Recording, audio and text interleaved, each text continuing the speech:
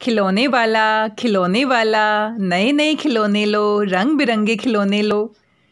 प्यारे बच्चों, जब आपकी गली मोहल्ले में कोई खिलौने वाला आता है और इस तरह की आवाज़ लगाता है तो आप बड़े खुश हो जाते होंगे और आपका भी मन करता होगा कि हम भी खिलौने लें नए नए खिलौने लें। आजकल वैसे तो इस तरह के फेरी वाले जो खिलौने बेचते हैं गली गली में जाकर मोहल्ले मोहल्ले में जाकर उनकी संख्या कम हो गई है। लेकिन फिर भी कभी कभी आपको ऐसे खिलौने वाले ज़रूर मिल जाते होंगे। खिलौनों से खेलना किस बच्चे को अच्छा नहीं लगता? खिलौने सभी को अच्छे लगते हैं और आपको भी नए नए खिलौने जब मिलते हैं तो बड़े ही खुश हो जाते होंगे। जब आपका जन्मदिवस आता है या कोई त्यौहार आता है, किसी मेले में आप जाते हैं तो नए नए खिलौने आप ज़रूर लेते होंगे। प्यारे बच्चों, आज की हमारी कविता है खिलौने वाला। और ये कविता लिखी है कवित्री सुभद्रा कुमारी चौहान ने। इसमें एक बच्चा होता है, उसको भी आपकी ही तरह खिलौने बड़े पसंद आते हैं।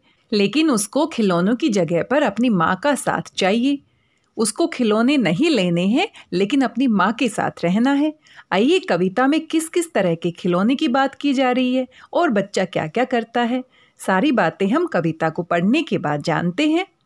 आइए पढ़ते हैं कविता खिलौने वाला। आप भी मेरे साथ साथ ज़रूर पढ़िएगा। वह देखो माँ, आज खिलौने वाला फिर से आया है। कई तरह के सुंदर सुंदर नए खिलौने लाया है। हरा हरा तोता पिंजने में गेंद, एक पैसे वाली छोटी सी मोटर गाड़ी है सर सर सर चलने वाली। सीटी भी है कई तरह की, कई तरह के सुंदर खेल। चाबी भर देने से भग भग करती चलने वाली रेल। गुड़िया भी है बहुत भली सी, पहने कानों में बाली। छोटा सा टी सेट है। छोटे छोटे हैं लोटा थाली। छोटे छोटे धनुष बाण है। है छोटी छोटी तलवार। नए खिलौने ले लो भैया ज़ोर ज़ोर वे रहा पुकार। मुन्नू ने गुड़िया ले ली है, मोहन ने मोटर गाड़ी। मचल मचल सरला कहती है, माँ से लेने को साड़ी। कभी खिलौने वाला भीमा क्या साड़ी ले आता है? साड़ी तो वह कपड़े वाला कभी कभी दे जाता है। अम्मा, तुमने तो ला करके मुझे दे दिए पैसे चार। कौन खिलौना लेता हूँ मैं, तुम भी मन में करो विचार। तुम सोचोगी, मैं ले लूँगा तोता, बिल्ली, मोटर रेल। पर माँ ये मैं कभी न लूँगा, ये तो हैं बच्चों के खेल। मैं तलवार खरीदूँगा, माँ, या मैं लूँगा तीर कमान। जंगल में जा किसी ताड़का को मारूँगा राम समान। तपसी यज्ञ करेंगे असुरों को, मैं मार भगाऊँगा। यो ही कुछ दिन करते करते रामचंद्र बन जाऊँगा। यही रहूँगा कौशल्या, मैं तुमको यही बनाऊँगा। तुम कह दोगी, वन जाने को हँसते हँसते जाऊँगा। पर माँ बिना तुम्हारे वन में मैं कैसे रह पाऊँगा? दिन भर घूमूँगा, जंगल में लौट कहाँ पर आऊँगा? किससे लूँगा पैसे? रूठूँगा तो कौन मना लेगा? कौन प्यार से बिठा गोद में? मन चाही चीज़ें देगा। कवित्री सुभद्रा कुमारी चौहान। प्यारे बच्चों, ये थी आज की हमारी कविता खिलौने वाला, जिसकी कवित्री हैं सुभद्रा कुमारी चौहान। और सुभद्रा कुमारी चौहान की एक बहुत ही प्रसिद्ध कविता आप छठी कक्षा में भी पढ़ेंगे, और कविता का नाम है झांसी की रानी लक्ष्मीबाई। आइए अब हमारी कविता खिलौने वाला की व्याख्या करते हैं, सरलार्थ करते हैं, और इसमें समझते हैं क्या क्या कहा गया है। इस कविता में एक छोटा सा बच्चा अपनी माँ से बात कर रहा है और वह अपनी माँ को बताता है कि खिलौने वाला आया है और उसके पास अनेक प्रकार के खिलौने हैं, लेकिन वो कौन कौन से खिलौने लेगा, इसकी बात भी इस कविता में होती है। लेकिन साथ में खिलौने के साथ साथ उसको अपनी माँ का साथ भी प्यारा है। उसको अपनी माँ के साथ ही रहना है, चाहे वो खिलौने ले, चाहे खिलौने ना ले। अब छोटा सा बच्चा क्या क्या बातें कर रहा है किस किस तरह के खिलौने की बातें कर रहा है, आइए समझते हैं। वह देखो माँ, आज खिलौने वाला फिर से आया है। छोटा बच्चा अपनी माँ से कहता है कि देखो माँ, आज खिलौने बेचने वाला फिर से आया है। कई तरह की सुंदर सुंदर नए खिलौने लाया है और उसके पास अनेक प्रकार के सुंदर सुंदर रंग बिरंगे खिलौने हैं। हरा हरा तोता पिंजरे में। उसके पास एक तोता है हरे रंग का, जो कि पिंजरे में है। गेंद एक पैसे वाली और एक गेंद भी है, जो एक पैसे में मिलती है। छोटी सी मोटर गाड़ी है। और साथ में मोटर गाड़ी कैसी आवाज़ करती है? Sir sir sir. जब वो चलती है तो सर सर की आवाज़ करती है। सीटी भी है कई तरह की और अनेक प्रकार की उसके पास सीटी है। कई तरह के सुंदर खेल चाबी भर देने से भगभग करती चलने वाली रेल। और उसके पास अनेक प्रकार के खेल खिलौने हैं और चाबी भर देने मात्र से जो रेलगाड़ी है वो भग भग करके चलने लगती है, यानी चाबी वाले खिलौने भी हैं। और प्यारे बच्चों, आपने भी चाबी वाले खिलौने ज़रूर देखे होंगे और आपके पास ज़रूर होंगे। अभी आप थोड़े से बड़े हो गए हो, लेकिन अगर आप याद कीजिए, पहली क्लास में, दूसरी क्लास में जब आप थे तो आप थोड़े छोटे थे और आपने इस तरह के खिलौने ज़रूर देखे होंगे और साथ में उनसे खूब खेला होगा। जैसे जैसे हम बड़े होते जाते हैं वैसे वैसे हमारे खिलौनों के बारे में पसंद भी बदलती जाती है। बहुत छोटे बच्चे को इस तरह के खिलौने अच्छे लगते हैं, लेकिन जैसे जैसे बच्चा बड़ा हो जाता है, आप भी अभी थोड़े थोड़े बड़े हो रहे हैं तो आपके खिलौने जो हैं, उनकी पसंद बदल जाती है। आगे बच्चा कहता है, गुड़िया भी है बहुत भली सी, पहने कानों में बाली। और खिलौने वाले के पास एक गुड़िया भी है, बड़ी ही भोली भाली सी है और उसने कानों में बाली पहनी हुई है और जो लड़कियाँ होती है, उनको गुड़िया खेलना बहुत पसंद होता है, उनको किचन सेट बहुत अच्छा लगता है और पूरा का पूरा जैसे घर में मम्मी काम करती है, वैसे ही वो भी गुड्डे गुड्डियों के साथ ऐसे ही काम करते हुए खेलती हैं। और गुड़िया के साथ साथ खिलौने वाले के पास छोटा सा टी सेट भी है। छोटे छोटे हैं, लोटा थाली और टी सेट में जो थाली, लोटा और बाकी के बर्तन हैं, वो बहुत छोटे छोटे हैं। लेकिन आपकी मम्मी के पास बहुत बड़े बड़े बर्तन होते हैं, जिनसे वो रसोई घर में खाना पकाती हैं। तो छोटा सा टी सेट है खिलौने वाले के पास छोटे छोटे हैं लोटा थाली छोटे छोटे धनुष बाण हैं और खिलौने वाले के पास धनुष बाण भी हैं और छोटी छोटी तलवार भी हैं। नए खिलौने ले लो भैया ज़ोर ज़ोर वे रहा पुकार। और जब गली में से वो गुजर रहा है तो वो बच्चों को पुकारने के लिए ताकि उसके पास आए और खिलौने खरीदे। इसीलिए ज़ोर ज़ोर से वो पुकार रहा है कि भाई नए नए खिलौने ले लो। मुन्नू ने गुड़िया ले ली है, मोहन ने मोटर गाड़ी। और आस पड़ोस के जो बच्चे हैं, उसमें मुन्नू नाम के बच्चे ने गुड़िया ले ली है और मोहन ने क्या ले ली है? मोटर गाड़ी। अब ये सारी बातें छोटा सा बच्चा अपनी माँ से कह रहा है कि मुन्नू और मोहन ने क्या क्या ले लिया है? मुन्नू ने गुड़िया ले ली है, मोहन ने मोटर गाड़ी। मचल मचल सरला कहती है, माँ से लेने को साड़ी। और सरला कहती है कि, माँ, तुम भी एक साड़ी ले लो, लेकिन क्या साड़ी खिलौने वाले के पास मिलती है? नहीं, खिलौने वाला तो सिर्फ़ खिलौने बेचता है, और साड़ी तो साड़ी बेचने वाले के पास मिलती है। और सरला अपनी माँ से मचल मचल कर पूछती है कि, क्या खिलौने वाला भी कभी साड़ी लेकर आता है? साड़ी तो कपड़े बेचने वाला लेकर आता है।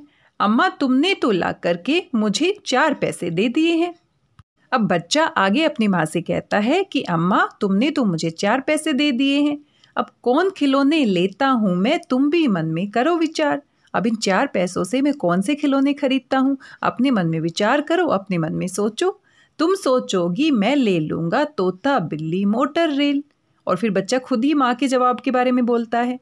कि तुम सोच रही होगी कि मैं तो क्या ले लूँगा? या तो तोता लूँगा, या बिल्ली लूँगा, या मोटर ले लूँगा, या फिर रेल का खिलौना ले लूँगा। लेकिन आगे बच्चा कहता है, ये तो है बच्चों के खेल। कि माँ, ये सारे तो बच्चों के खिलौने हैं। तोता, बिल्ली, मोटर रेल में नहीं लेने वाला। छोटे बच्चे इनसे खेलते हैं। मैं तलवार खरीदूँगा, माँ, या मैं लूँगा तीर कमान अब बच्चा अपनी माँ से कहता है कि जो चार पैसे आपने मुझे दिए हैं, उनसे या तो मैं तलवार खरीदूँगा, या फिर मैं तीर कमान यानी कि धनुष बाण खरीदूँगा। जंगल में जा किसी ताड़का को मारूँगा राम समान। अब बच्चा बड़ी बड़ी बातें कर रहा है। जिस प्रकार रामायण में भगवान राम ने वन में जाकर ताड़का राक्षसी को मारा था तो इसी प्रकार वो कहता है कि मैं तो क्या ले लूँगा? तीर कमान धनुष बाण लूँगा और अपने धनुष बाण से जंगल में जाकर किसी ताड़का को मारूँगा। ताड़का एक राक्षसी का नाम है, जिसका वध किसने किया था? भगवान राम ने। प्यारे बच्चों, अगर आप रामायण देखते हैं या फिर रामायण आपने सुनी है तो आपने ज़रूर इसके बारे में सुना होगा। तो छोटा बच्चा कहता है कि मैं कोई छोटे मोटे खिलौने नहीं लूँगा, जैसे कि तोता बिल्ली, मैं तो क्या लेने वाला हूँ? धनुष बाण और भगवान राम की तरह मैं जंगल में चला जाऊँगा और वहाँ पर ताड़का जैसी राक्षसी को मार गिराऊँगा। तपसी यज्ञ करेंगे, असुरों को मैं मार भगाऊँगा। तपसी कौन होते हैं? तपस्या करने वाले ऋषि मुनि। तो ऋषि मुनि जंगल में क्या करेंगे? यज्ञ करेंगे। असुरों को मैं मार भगाऊँगा। असुर क्या होते हैं? राक्षस। और जो राक्षस हैं, जो ऋषि मुनियों को परेशान करते हैं, तपस्वियों को परेशान करते हैं, उनको मैं अपने धनुष बाण से भगवान राम की तरह मार भगाऊँगा। प्यारे बच्चों, जब आप रामायण देखते हैं तो आपका भी बड़ा मन करता है कि जैसे भगवान राम राक्षसों को मार भगा रहे हैं तो आप भी ऐसा ही करें। या फिर कोई भी नाटक आप देखते हैं, कोई भी मूवी आप देखते हैं तो उसमें जो हीरो करता है, वैसा ही आपको करने का मन करता है। तो यहाँ पर जो कविता में हमारा बच्चा है, उसने भी रामायण देखी होगी और भगवान राम से वो बहुत प्रभावित हुआ होगा। इसीलिए वो अपनी माँ से कह रहा है कि मैं तो धनुष बाण खरीदूँगा और जंगल में ताड़का जैसी राक्षसी को मार भगाऊँगा, जैसे भगवान राम ने किया था। और साथ में सारे राक्षसों को, असुर क्या होते हैं? राक्षस। सारे राक्षसों को मार भगाऊँगा, ताकि जो तपसी हैं, तपसी यानी कि तपस्या करने वाले ऋषि मुनि हैं, वो आराम से यज्ञ कर सके, उनके यज्ञ में कोई विघन या बाधा नहीं आ सके। यूँ ही कुछ दिन करते करते रामचंद्र बन जाऊँगा, और इस तरीके से अपने धनुष बाण से प्रैक्टिस करते करते अभ्यास करते करते मैं भी भगवान रामचंद्र बन जाऊँगा। आगे बच्चा कहता है, यही रहूँगा कौशल्या, मैं तुमको यही बनाऊँगा। और जैसे भगवान राम की माता कौन थी? कौशल्या। तो मैं यहीं रहूँगा और कौशल्या तुमको बना लूँगा, मैं भगवान राम बन जाऊँगा और तुम मेरी माता कौशल्या बन जाओगी। तुम कह दोगी, वन जाने को हँसते हँसते जाऊँगा। और जिस प्रकार भगवान राम को चौदह वर्ष के लिए वन में जाने के लिए कहा गया था, वैसे ही अगर तुम मुझसे कहोगी वन में जाने के लिए, जंगल में जाने के लिए तो मैं हँसते हँसते चला जाऊँगा, तुम्हारी आज्ञा का मैं पालन करूँगा। पर माँ बिना तुम्हारे वन में मैं कैसे रह पाऊँगा? अब छोटा बच्चा थोड़ा परेशान हो जाता है कि भगवान राम तो चौदह वर्ष के लिए अपने घर परिवार को माता पिता को छोड़कर चले गए थे। लेकिन अगर तुम कौशल्या बन जाओगी और मैं राम बन जाऊँगा और तुम मुझे जंगल जाने के लिए कहोगी तो मैं हँसते हँसते चला तो जाऊँगा। लेकिन माँ, तुम्हारे बिना वन में मैं कैसे रह पाऊँगा? जंगल में मुझे अकेले रहने की आदत नहीं है, मैं तो हमेशा तुम्हारे साथ रहता हूँ, इसलिए बच्चा थोड़ी चिंता में आ जाता है। अब बच्चा सोचता है, दिन भर घूमूँगा, जंगल में लौट कहाँ पर आऊँगा? कि जंगल में मैं दिन भर घूमता रहूँगा, तलवार से राक्षसों का वध करता रहूँगा, लेकिन फिर लौट कर मैं कैसे आऊँगा? कहाँ पर आऊँगा? क्योंकि माँ तुम जंगल में मेरे साथ नहीं होगी। किससे लूँगा पैसे और किससे मैं पैसे लूँगा? रूठूँगा तो कौन मना लेगा? अब बच्चा बड़ा ही परेशान हो जाता है कि जंगल में तो मैं चला जाऊँगा भगवान राम की तरह, लेकिन मैं अपनी माँ से दूर कैसे रह पाऊँगा? अगर मैं रूठ जाऊँगा तो कौन मुझे मनाएगा? अगर मुझे पैसे चाहिएँगे तो कौन मुझे पैसे देगा? कौन प्यार से बिठा गोद में मन चाही चीज़ें देगा? और जंगल में ऐसा कौन होगा जो जिस तरह से माँ मेरे को प्यार से अपनी गोद में बिठाती हो तुम? तो वैसे मुझे अपनी गोद में बिठाकर मेरी मन चाही अपनी पसंद की चीज़ें मुझे कौन देगा? ये सारी बातें भी छोटे से बच्चे के मन में आती है।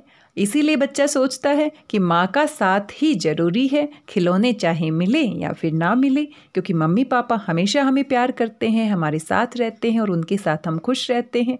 तो इसीलिए खिलौने से ज़्यादा बच्चे को अपनी माँ का साथ भी प्यारा है। प्यारे बच्चों, आप भी तो अपने मम्मी पापा के साथ रहते हैं और जब कभी आपकी मम्मी आपसे दूर चली जाती है या आपके पापा आपके पास नहीं होते हैं तो आपको उनकी कितनी याद आती है। मम्मी पापा के साथ रहना हमारे लिए सबसे खुशी की बात होती है। चाहे खिलौने मिले, चाहे खिलौने ना मिले। और ये अच्छी सी प्यारी सी कविता लिखी है सुभद्रा कुमारी चौहान ने। अच्छा ये बताओ, एक तरफ़ आपके पास आपके मनपसंद खिलौने हैं और दूसरी तरफ़ आपके मम्मी पापा का साथ है तो आप किसको चुनना चाहेंगे? आप अपना उत्तर मुझे मैसेज करके बता सकते हैं और जहाँ तक मुझे लगता है सभी बच्चे अपने माता पिता का साथ ही चाहेंगे क्योंकि खिलौनों से कहीं ज़्यादा अच्छा हमारे मम्मी पापा का साथ होता है। आपको कौन कौन से खिलौने पसंद हैं? आपकी मम्मी पापा ने आपको कौन कौन से खिलौने दिलाए हैं? क्या आपके गली मोहल्ले में भी कोई खिलौने वाला आता है? जिस तरह से हमारी कविता में खिलौने वाला आया है तो ये सारी बातें आप मैसेज करके मेरे साथ शेयर कर सकते हैं।